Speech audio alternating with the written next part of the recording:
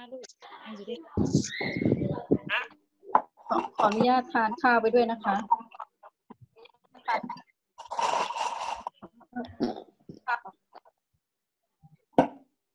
คุณกดอย่าเพิ่งทานครับดูความสงบนะคอืรับมโอเค โอเค ถ้าถ้าถ้าเปิดไมค์หมดเสียงมันจะขาดนะ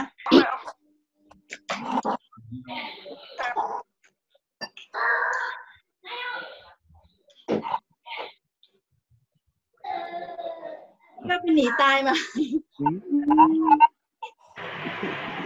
โอ้มีใครคุณลุงสวัสดีครับไม่ยอมสวัสดีครับ โอ้โหสวัสดีครับมีใครสบ้างวัสดีค่ะ โอ้โหรู้ไหมลุงหงอยู่ที่ชายทะเลตอนเนี้ย เออ แต่ละคนฟังแต่ละท่านฟังไม่รู้เรื่องเลยอะค่ะต้องเสียงดังอีกนิดอะค่ะ เพิ่มเสียงลุงหมอกใช่ไหมครับ ต้องปิดไมค์ใช่ค่ะ ปิดไมค์ใคร ใช่เพิ่มเสียงลงหมอกครับคำว่าเพิ่มเสียงลุงหมอกจะให้ลุงหมอกพูดดังๆใช่ไหมครับถูกต้องค่ะฟังอันนี้คงไม่น่าใช่พวกเราพวกเราต้องปิดหรือเปล่าจากคุณลุงเร็วๆตอนนี้มันมีน้อยแทรกเข้ามาจากไมค์ของแต่ละท่านนะครับ คือผมเสนอว่าอาจจะต้องปิด ปิดไมค์บางท่านนะครับ ทุกคนมันมีน้อยเข้ามาโอเคหนูครัก็บเห็นด้วยค่ะ เห็นได้ด้วยไหมได้ไหมครับ ได้ยินชัดเจนครับลุงหมอกครับโอ้โหยอดเยี่ยมได้ยินชัดเจนเนาะชัดครับค่ะต้องต้องยกขาหน้าขึ้นหน่อยสิทุกท่าน ถ้าได้ยิน ยกสองขาเลยครับ ได้ยินยกขาหน้าสองขาเลย โอเค โอเค รับทราบครับ เอาล่ะ อยากจะคุยกันเรื่องอะไรว่ามา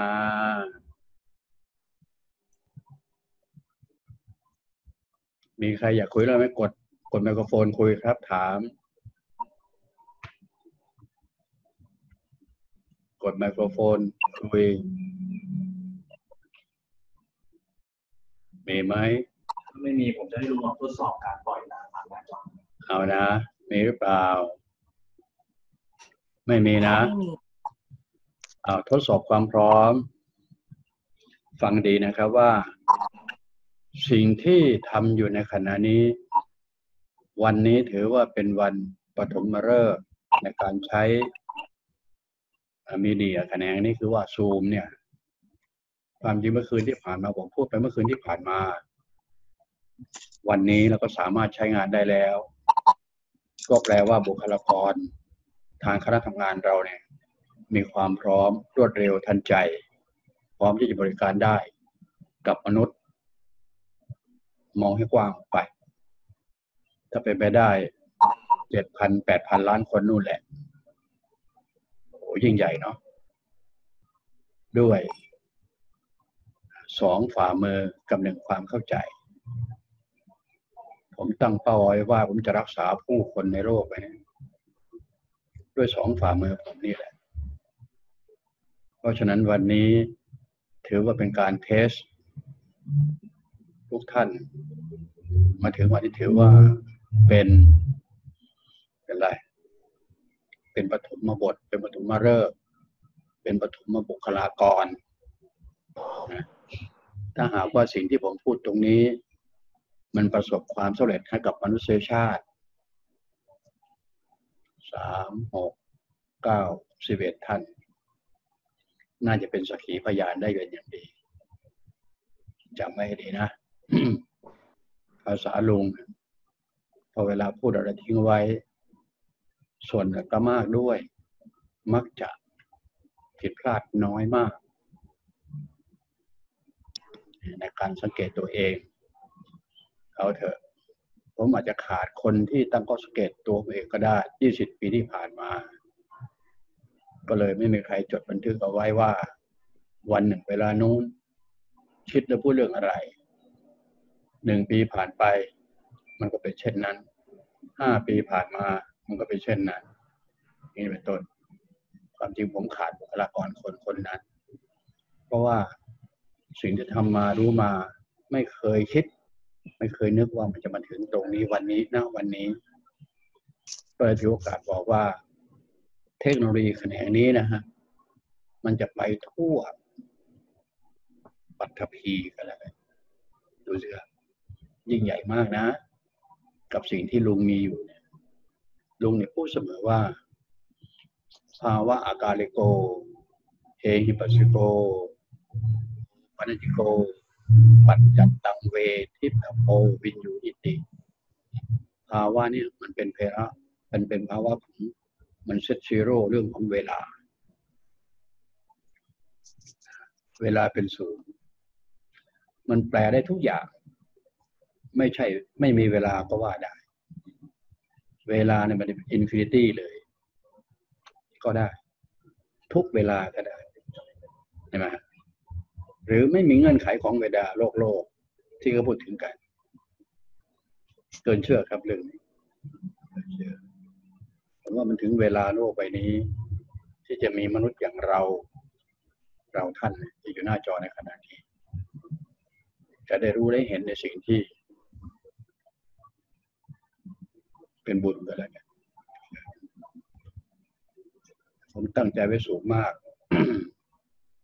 เพราะว่า ผมพูดหลายครั้งว่า สิ่งที่พระพุทธเจ้าไปล่วงรู้ สิ่งต่างๆด้วย พระองค์เองไม่ว่าจะเรียกว่าพระสัพพัญญูพระพุทธเจ้า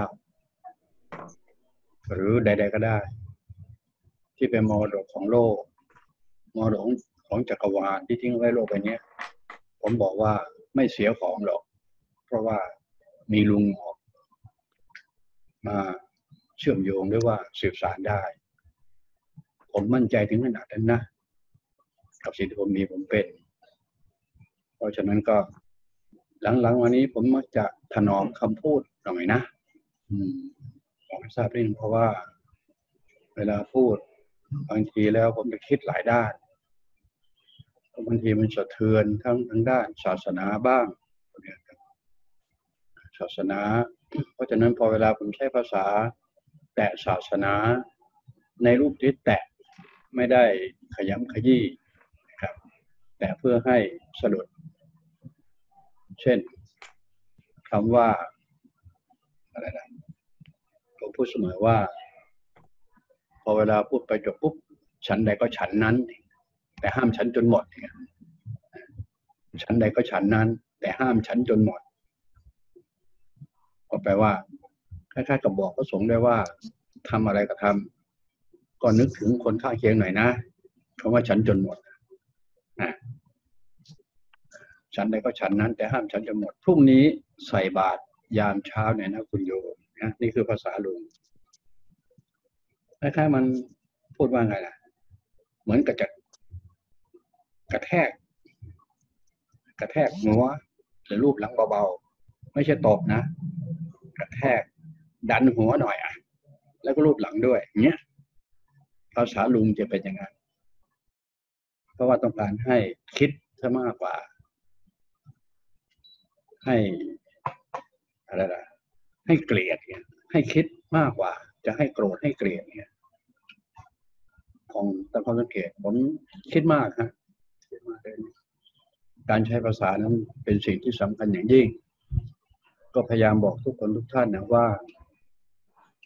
ภาษาเนี่ยเป็นสื่อกลางมันเป็นของกลาง ที่ใช้ในการสื่อสาร ระหว่างผู้ส่งกับผู้รับ หรือว่าผู้ให้กับผู้รับเนี่ยถ้ามันตรงกันแล้วมันจะไปได้กันได้อย่างร่องรอยอย่างดีมาก แต่ถ้าไม่ตรงกันปุ๊บภาษาเป็น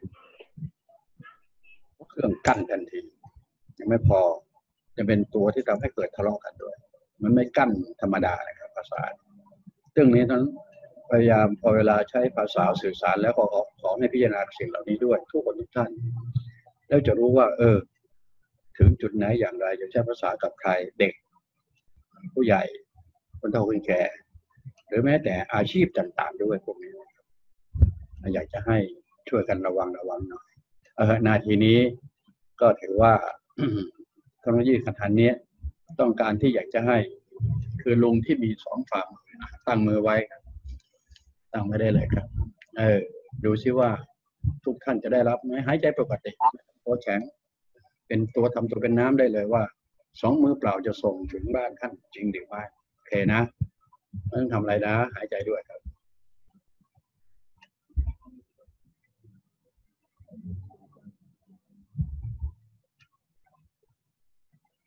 แค่นี้ก็รู้แล้ว ผมจะรู้ทันทีเลยนิ่งไว้ นิ่งไว้ อย่าสายมือตามผม อย่าสายมือตามผมนิ่งไว้ เป็นผู้รับท่านเป็นผู้รับไม่ได้เป็นผู้ให้ครับ ผมเป็นผู้ให้นี้จำเป็นต้อง ให้ตรงกัน แล้วจะรู้เองก็จะนิ่งไปเยอะเลยค่อยๆหายใจตามปกติเลยมันจะรู้สึกเอง ผมกำลังจินตนาการไปว่า ถึงคน เจ็ดแปดพันล้านคนนะเดี๋ยวนี้ถ้ามีสิ่งนี้แล้วก็โอ้โหรักษากันได้อย่างทั่ว สิ่งนี้แหละที่ผมพูดว่า ไฟฟ้าสถิต ไฟฟ้าสถิตจะทำงานได้ ก็ต้องถอยหลังมาหาพลังงานบริสุทธิ์เนี่ยการค้นพบพลังงานบริสุทธิ์ การเข้าถึงพลังงานบริสุทธิ์ สามารถนำมาใช้ได้อย่าง ลงตัวที่สุดแบบเรียลไทม์ด้วยนะถ้าจะรอครั้งต่อไปก็คือรอเรื่องของควอนตัมคอมพิวเตอร์ในขนาดนี้ยังใช้ได้ขนาดนี้ ถ้าควอนตัมคอมพิวเตอร์มาเมื่อไหร่บอกไปเลยว่ามนุษย์โลกจะรู้จักลุงงอแน่นอนนะครับ ด้วยความสามารถของลุงเพราะว่ามันจะ นำไปสู่การรักษาเยียวยาถึงบ้านถึงเมืองถึงที่ทั้งหมดขอให้เวลาตรงกันและไปด้วยส่วนท่านทั้งหลายขนาดนี้ท่านทั้งหมดกันแล้วกันนะสามหกเก้าสิบเอ็ดท่าน ก็น่าจะเป็น ผู้สรุปเขาทดลองวัคซีนกันเขาใช้หนูกันเขาใช้ลิงกันเขาใช้คนกันมากมายกายกอง ของเราเรียกกันว่า yes กับ no เลยนี่คือภูมิต้านทานหายใจให้ยาวลึกก็จะได้เองภูมิต้านทานร่วมมันจะเกิดปัญญาด้วยนะจะเกิดพละกำลังร่างกายด้วย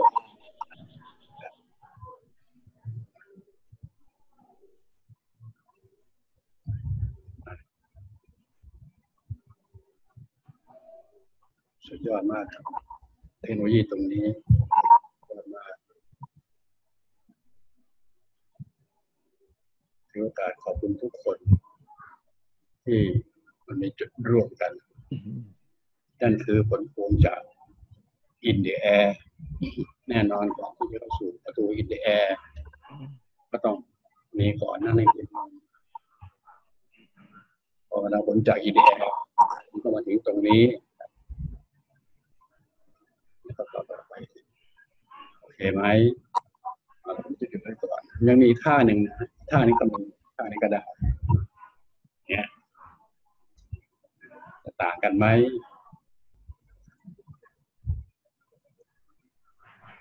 ผมจะเข้าใจเรื่องของพลังงานนะครับ บอกให้เดินผมใช้พลังงานสัตว์พลังงานส่วนตัวคือพลังงานสัตว์มันซ่อนอยู่ในความนิ่ง เวลาผมเคลื่อนที่เคลื่อนไหวมือเนี่ย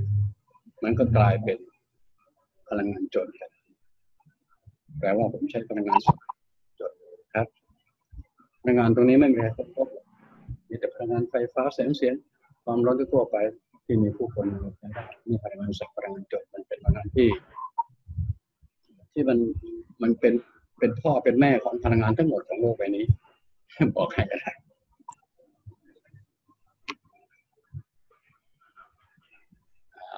เอาละอะผมพอแล้วส่วนท่านท่านละตถาคตหยุดแล้ว ท่านต่างหากหยุดหรือยังอ่ารู้สึกไงทีนี้ครับอะใส่ไมโครโฟนมาครับ ใครมีความเห็นไหมครับเปิดเสียงเลยครับ ครับขออนุญาตครับลุงงอกเชิญครับลุงงอกครับ ผมเนตี้นะ อืม มีคำถามครับ เกี่ยวกับ เกี่ยวกับเอาครับพลังงาน เอาความรู้สึกก่อนไหม เเอาความรู้สึกก่อนเออลุงงอกเห็นเห็นเหงื่อผมไหมครับโอคือเคถ้าเอาถ้าลุงงอกทำอีกสักสักห้าทีผมได้อาบน้ำแน่เลยอะทุ่มโอเคอะโชคไปรับทราบตรงนี้แล้วความร้อนขึ้นมาโอเคเชิญเลยครับครับทีนี้ผมมีคำถามนะผมเป็นความสงสัยว่า คือเมื่อกี้ผมอ่าผมจะชอบทดลองเนาะคือผมสามารถสัมผัสอ่าพลังงานลงออกเนี่ยมันมันเป็นลักษณะของคลื่นในในอืมความเป็นสภาพนะที่ผมรู้สึกนะครับ มันเป็นคลื่น คล้ายๆ กับคลื่นอ่าในในในเวลาโยนหินลงแม่น้ำแล้วมันเป็นละลอกละลอก แล้วพอตั้งมือมันก็จะจะมากระทบ เมื่อกี้ที่ลุงออกอ่าบอกว่าอย่าอย่าขยับมือคือคือตัวผมเองนะพี่หลายหลายท่านอาจจะไม่เห็นผม คือผมก็ลองลองไม่เกรงแล้วก็ปล่อย อยากรู้ว่า สภาพของคลื่นที่ที่ลุงออกไปล่อยมา จะเป็นแบบที่ผมคิดไหมที่เป็นวงกลมมือก็จะเลื่อนขึ้นไปเป็นอย่างนี้นะฮะคือมันมันก็ต้องมีเขาเรียกอะความ อ่าครับอ่าในความรู้สึกผม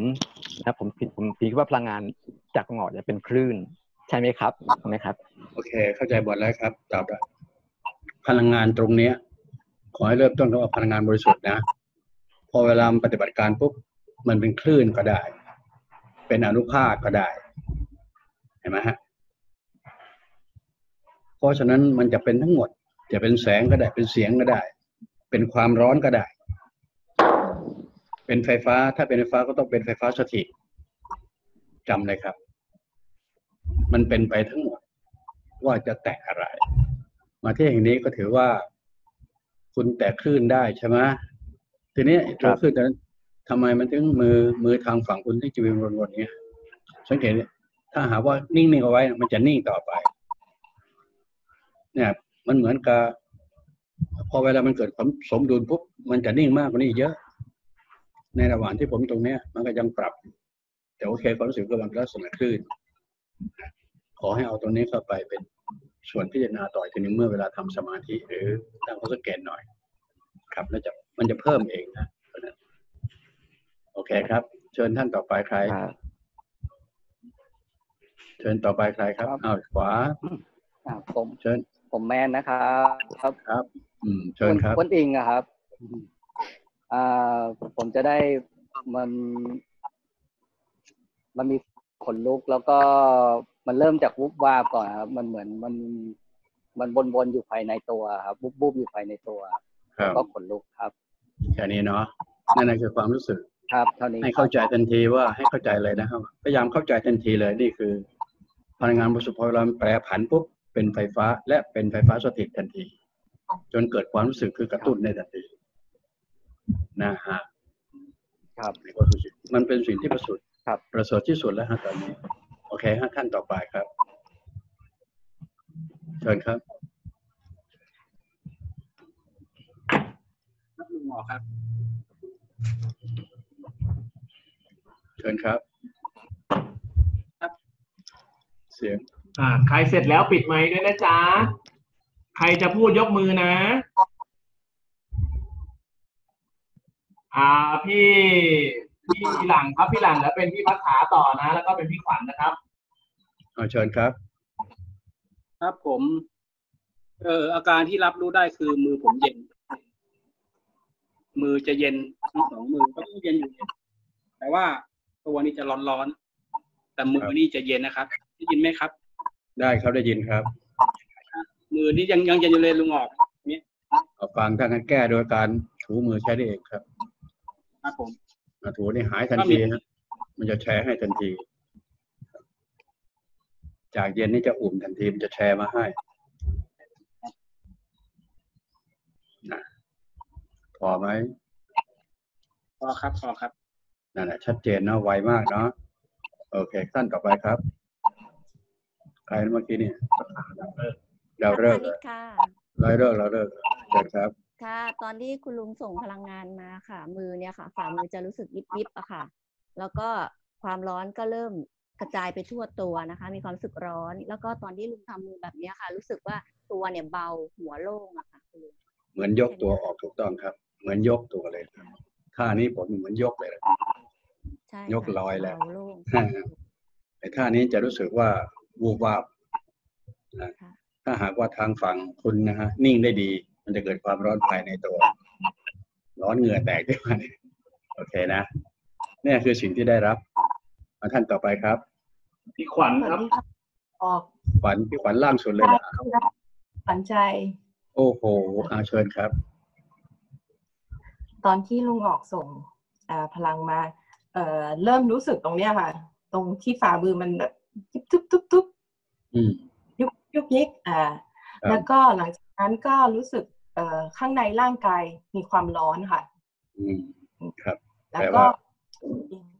เชิญเชิญครับ แล้วก็มีตรงเนื้อเข่าหรือตรงขาหรือตรงตามส่วนของร่างกายมันกระตุกกระตุกค่ะ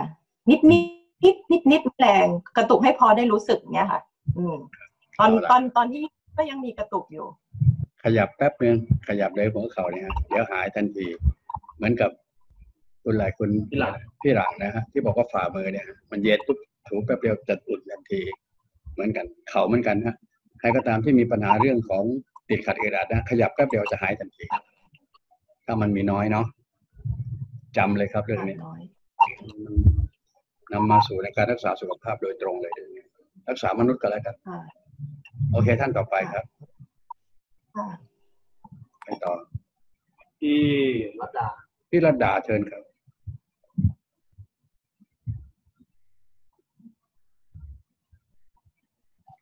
ค่ะอ่าตอนที่ลุงออกส่งพลังนะคะระดาก็มันจะมีความร้อนที่ฝ่ามือข้าง แล้วที่ปลายนิ้ว ปลายนิ้วมือทั้งทั้งทุกนิ้วแล้วมันก็จะมีเหมือนแบบอ่ากระแสไฟฟ้าวิ่งแล้วก็มันจะเข้ามาที่แขน แล้วช่วงที่ลุงลุงปล่อยพลังระดาก็ลองเอาเอาเอามืออีกข้างลองมาจับแขนข้างหนึงไว้ ทำแบบนี้สลันทั้งสองข้างก็คือที่ที่มาที่มือนี้กับมือที่ที่มาจับแขนอยู่เนี่ยค่ะ มันมันสัมผัสได้กับมือที่จับแขนมันก็มีมีมีแต่กระแสไฟฟ้ามาด้วยค่ะ ครับผมแปลว่าเข้าได้ทุกจุดทั้งสองฝ่ามือและมือเดียวเนาะเวลาตั้งมือรับจะมือเดียวก็เข้า สองมือก็เข้า แต่พอเรามาจับปุ๊บเปลี่ยนปุ๊บก็เข้ามือเดียวแบบอันนั้นใช่ไหมครับอะไรก็ตามที่มันตั้งรับ อันนี้ผมใช้อธิบายความนี้นะครับว่า ผมใช้หลักของนิวตันอธิบาย ทางฝั่งคุณถือเป็นวัตถุก้อนหนึ่ง ฝั่งผมก็เหมือนกันวัตถุก้อนเหมือนกัน วัตถุสองก้อนเนี้ย ถ้ามันอยู่ห่างกัน ทางแต่ละคนจะอยู่ห่างกันนะฮะ แต่คนบ้านคนละหลังเนี่ยหรอกไหมครับนะแต่ทางฝั่งผมมีพลังงาน พลังงานที่มันจะมีมากกว่า มันจะส่งถึงบ้านใครบ้านใครเนี่ย ถ้าพูดถึงปริมาณของได้รับ คนใกล้จะได้รับที่มากกว่าคนไกล นี่เป็นหลักของนิวตันเลยครับ เรื่องสสารวัตถุที่อยู่ห่างกันนะครับคนไหนที่มีพลังมากกว่าก็จะเป็นส่ง มันจะส่งก็ได้มันจะดูดก็ได้นะครับ ทางฝั่งผมนี่เป็นการส่ง เพราะว่าใจผมจะเป็นลักษณะให้ ให้ให้ใจไม่ได้ดึงกลับคืนมาเป็นรับนะฮะโอเคนะขอให้เข้าใจรูปแบบนี้ให้ได้ อธิบายผ่าน หลักของนิวตันเป็นเรื่องของแรงโน้มถ่วงก็ว่าได้นะครับ หรือว่าแรงดึงดูดก็ว่าได้ ดูดผลักก็ไม่ผิดโอเคนะให้เข้าใจในในจุดนี้ที่เป็นวิทยาศาสตร์จะอธิบายผ่านตรงนั้นก็พอได้นะครับ มาเชิญท่านต่อไปครับ ยกมือแล้วครับออกมาเลยครับ เชิญครับ เชิญเลยครับ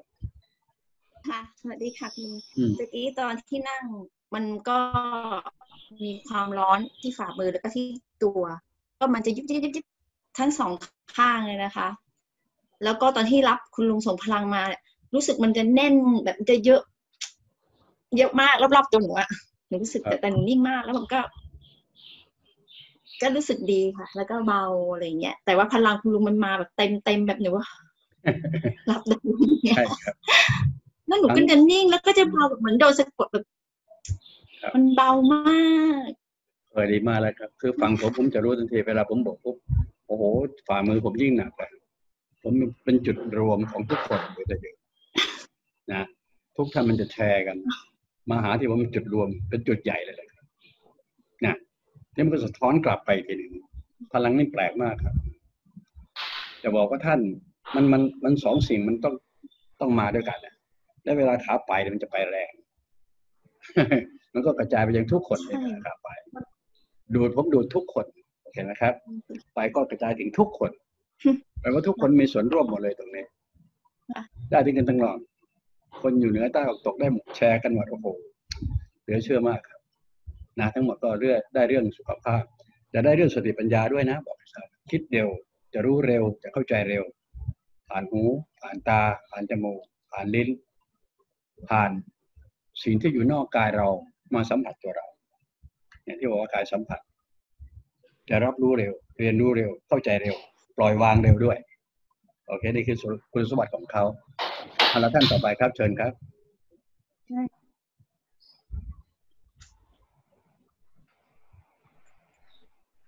เชิญครับ อันนี้ฮันนี่ฮันนี่ครับอันนี้ฮันนี่รู้ว่าเป็นครูครูอนุบาลเหรอ ใช่ค่ะใช่ไหมสวัสดีค่ะคุณลุง โอเคเชิญเชิญอะใช่ค่ะเชิญเชิญครับ อ่า ตอนที่คุณลุงโบกมือท่าแรกอะค่ะ อ่า อันจะรับพลังได้รู้สึกว่ามันมันมันวืบไปวืบมาที่มือทั้งสองข้าง แล้วแล้วตรงเนี้ยมันก็จะวนวนวนเหมือนเหมือนเป็นกระจุกรวมอย่างเงี้ยค่ะสองข้าง แล้วมันก็กระจายไปที่ปลายนิ้วปลายนิ้วทั้งทั้งสองข้างด้วยอะค่ะ แล้วแล้วตอนที่คุณลุงทำท่าแบบเนี้ยค่ะ ก็จะรู้สึกได้ว่าฝ่ามือทั้งสองข้างน่ะ มันก็จะรับพลังได้เป็นวนๆอย่างเงี้ยค่ะ เป็นวงวนๆอย่างเงี้ยค่ะ ครับค่ะแต่แล้วค่ก็นี้แล้วก็ความรู้สึกอีกอย่างหนึ่งคือตอนที่ได้ยินเสียงคุณลุงอะค่ะ มันหูมันเหมือน มันเหมือน มันเหมือนเป็นลมออกหูหรือว่าหูอื้อเลยอะค่ะ ครับ ใช่ทั้งทั้งที่ไม่ได้ไม่ได้เร่งเสียงโทรศัพท์แรงอะค่ะ แค่แค่ได้ยินธรรมดา ครับขออนุญาตทางนั้นนะเพิ่มเติม นอกจากผมจะมีสิ่งนี้แล้วฝากมาคือ action ของผมเนี่ยครับ ยังมีแสงด้วย ยังมีเสียงด้วย ผมทำได้หมด ผ่านเสียงระฆังระเคิงได้หมด ผ่านแสงก็ได้หมด เพราะฉะนั้นสุดยอดมาก เรื่องแสงในยยิ่ง ยิ่งมหัศจรรย์ลึกมาก แต่ต้องผมต้องอธิบายพร้อมกันนะตรงนั้น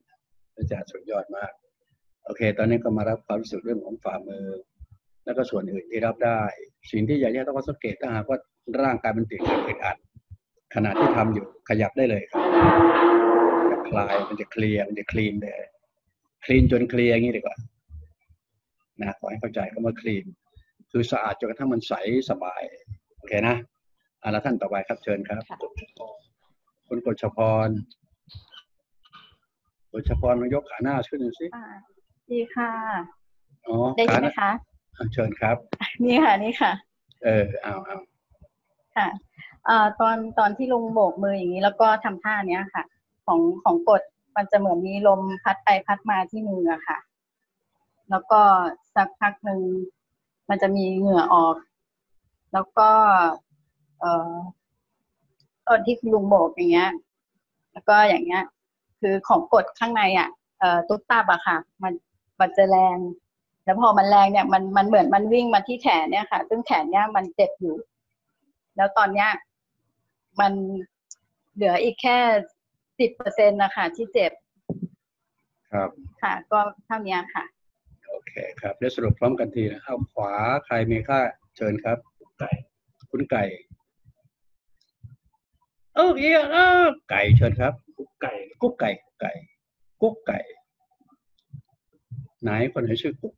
ไก่เปิดเปิดไมค์ก่อนค่ะ สวัสดีค่ะโอเคคุณลุงอ้าวเชิญครับเชิญคืคอรับของกุ๊กนะ ของกุ๊กนะคะ มันจะเป็นจืดๆที่มือสักพักบางช่วง มันจะเป็นเหมือนตัวมันจะสายเองอะค่ะ มันจะเป็นจึ๊กมันก็จะ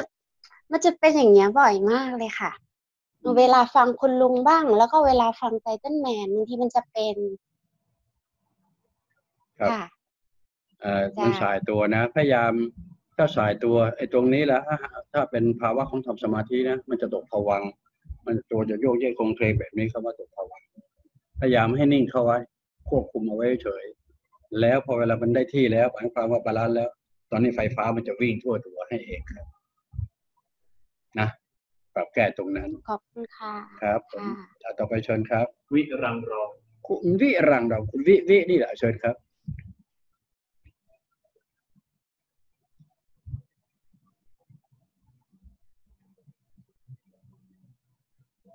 เชิญครับคุณวิครับ ครับเชิญครับ ไหนล่ะ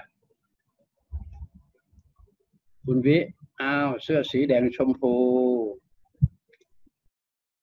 เสียงไม่มาพี่วีต้องกดไมค์ออกก่อนนะคะ ทีวีต้องกดทีวีต้องกดไมค์ออกก่อนอ่านะครับมาละส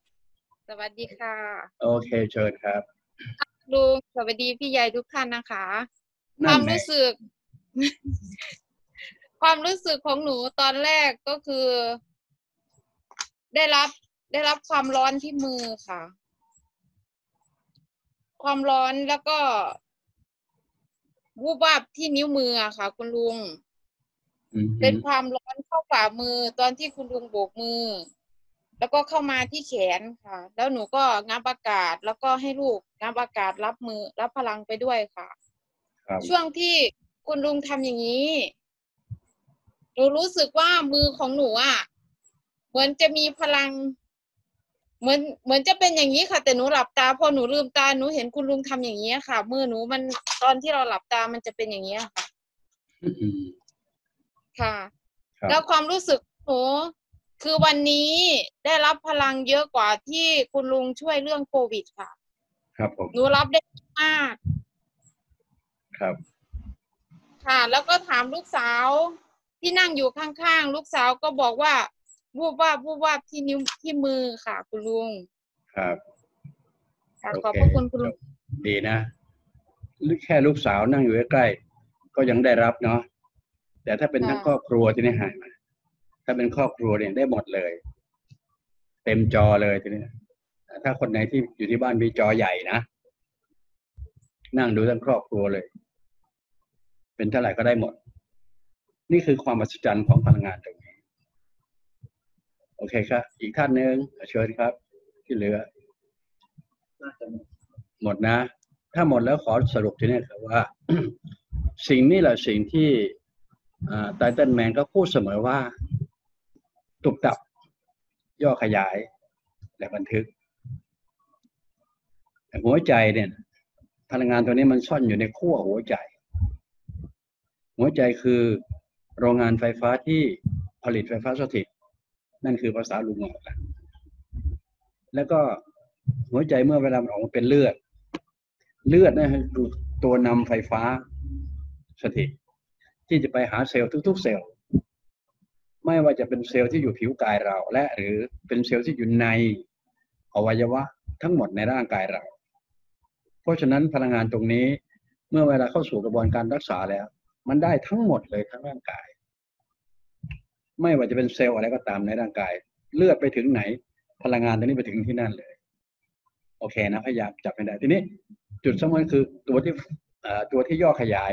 ตัวนี้คือการเผาไหม้สันดาป เหมือนกับว่าคือตัวฟอกเลือดเราใช้ว่าฟอกเลือดก็ได้ แต่ไม่อยากจะใช้ฟอกเลือดเพราะว่ามันมันจะไปขวางทางทางไตทีเราจะใช้คำว่าเป็นการสันดาปเป็นการเผาไหม้เป็นการลุกไหม้มันจะส่งผลให้เกิดความร้อนตามไปอีกทีนึงเห็นไหมฮะความร้อนจะส่งไปยังเลือดอีกทีหนึงเพราะฉะนั้นทุกท่านจะมีคำว่า ร้อนคือตรงนี้เองโอเคนะขณะเดียวกันสำคัญมากตอนเนี้ยถ้าใครก็ตามที่ได้สางผมไปด้วย ตัวนี้ผมว่ามันจะโปร่งเบาเลยครับ อ่า จะโปร่งเบามากมากเลยเพราะว่าคล้าย ๆ กับว่าไอ้เจ้าพลังงานที่ที่ไม่บริสุทธิ์เนี่ย มันสะสมอยู่กับ เนี่ยฮะขนเราเนี่ยครับพอเวลาลูบปุ๊บมือเราเนี่ยฮะโอ้โห มันจะล้างไปเลยเหมือนสระหัวสระผมเลย แปลว่า มันจะก่อให้เกิดเบาตัว เบาหัว และหายใจโล่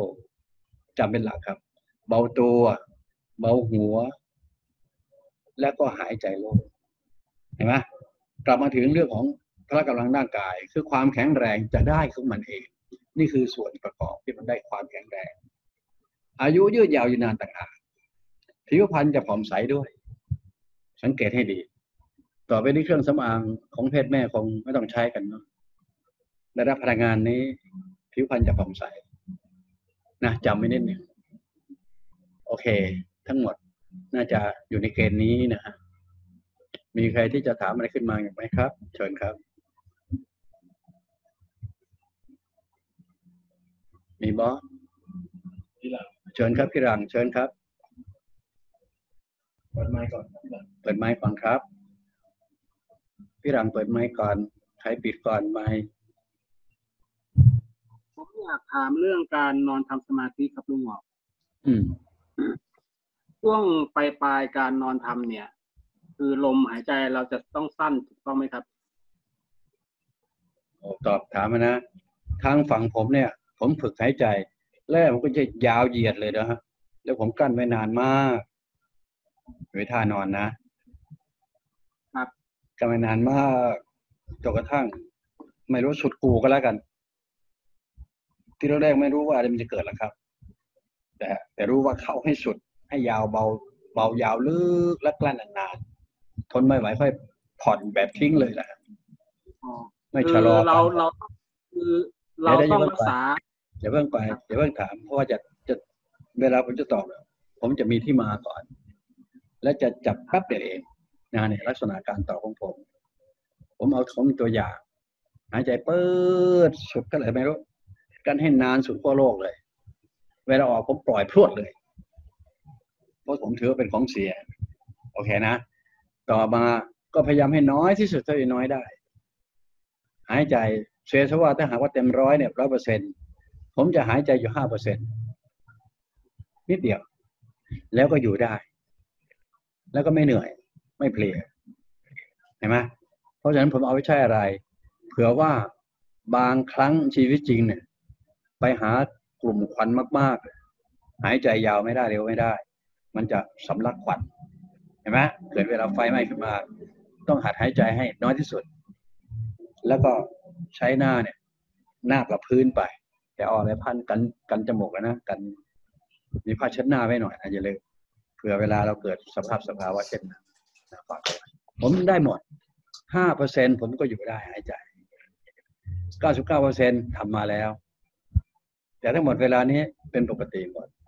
เพราะว่าเช็คหมดแล้ว โอเคนะคือหลักของผมเองส่วนท่านท่านก็ลองทำดูว่า จะได้รับประสบการณ์สิ่งใดก็ขอให้ท่านมาสุขเราเอง แล้วเป็นรหัสของตัวเองจะได้รับครับผม เชิญครับคำถามนี้เท่านี้ครับลุงหมอกโอเคมีไหมขอถามอีกหน่อยนึงค่ะพี่ขวัญใจเชิญครับอ่าอย่างจากไหนที่พี่ขวัญเนี่ยเนเธอร์แลนด์ค่ะ เฮ้ย อยู่ไกลใกล้ขนาดนี้เฉย เหรอค่ะแค่แค่แค่แขนเดียวนั่นเองนิดเดียวเองโอ้โหอืมใช่ค่ะเชิญครับเชิญครับจะถามเรื่องการหายใจอะนะคะอืมอย่างที่อย่างที่บางทีหายใจเข้าลึกๆเนี่ยค่ะ หรือว่าบางทีแบบเออหายใจเข้าลึกๆ แล้วมันก็จะมีแบบเหมือนกระแสซัดซ่านลงไปในตัว เหมือนกระแสน้ำอะค่ะ อืม อันนี้ก็คือกระบวนการที่ลุงหงอกพูดเมื่อกี้ใช่ไหมคะ ที่ว่าใช่ครับเป็นการพลังที่ทำให้อ่าเซลล์ในร่างกายเอ่อใช่ครับใช่ไหมคะใช่ครับอ่าใช่ครับ อันนี้คือที่หนูสงสัยของหนูเองละอันนี้ได้คำตอบจากลุงหงอกนะคะโอเคอืมเนี่ยมีอยู่แค่แล้วนี้บางนะทีฮะค่ะ บางทีบางทีมันจะมีแบบ บางทีถ้าหนูพูดกับใครอย่างเงี้ยค่ะ พูดกับเพื่อนหรือคนรู้จักหรือ พูดในแนวที่ว่าให้ ให้กำลังใจอย่างเงี้ยค่ะ เวลาเรายืนพูดนะคะลุงหงอกเวลาเราหายใจอะ มันจะแบบซัดแบบแรงมากเลยค่ะลุงหงอกพรุบพรุบพรุบเนี้ยเออบางทีบางทีเขามาแบบเขามาแบบที่เราแบบ ไม่ไม่เฮ้ยมาได้ไง เราก็ไม่ได้แบบตั้งตั้งใจที่จะแบบหายใจอย่างเงี้ยค่ะ แต่เป็นการพูดอย่างเงี้ยค่ะ บางทีอะอืม อืม ก็แปลว่า ตามการรู้ตัวตัวเองอะไรกันสติก็ว่าได้ครับค่ะ อ่า บางทีถ้าพูดอย่างนี้ก็แปลว่าตื่นเต้นแล้วตรงนั้นนะอือฮึนะวาระนั้นวินาทีนั้นติดเต้นแล้ว ก็ขอให้ค่ะรู้ตัวเออเรากำลังทำอะไรอยู่แค่นี้แล้วมันจะปรับได้เองค่ะสุดท้ายแล้ว นะค่ะค่ะ มันวูบมาหน่อยเดียวก็ตั้งหลักได้ประมาณนั้นนะครับ โอเคนะ ค่ะเอาละขอบคุณค่ะ โอเคด้วยความยินดีทุกคนนะทุกคนทุกท่านนะ ต่อไปนี้ก็จะให้เตเต้นแมนเข้ามานั่งอยู่ตรงนี้ แล้วผมจะไปทำงานต่อมีคนคอยผมอยู่ข้างนอกเนี่ยหนึ่งคนค่ะ ที่จะให้มาช่วยรักษาโอเคนะ ทุกคนนะ โอเค ยินดีด้วยเลยตบมือให้กับตัวเองซะค่ะโอเคครับ โอเคครับ เอาเลยไตเติ้ลเชิญต่อ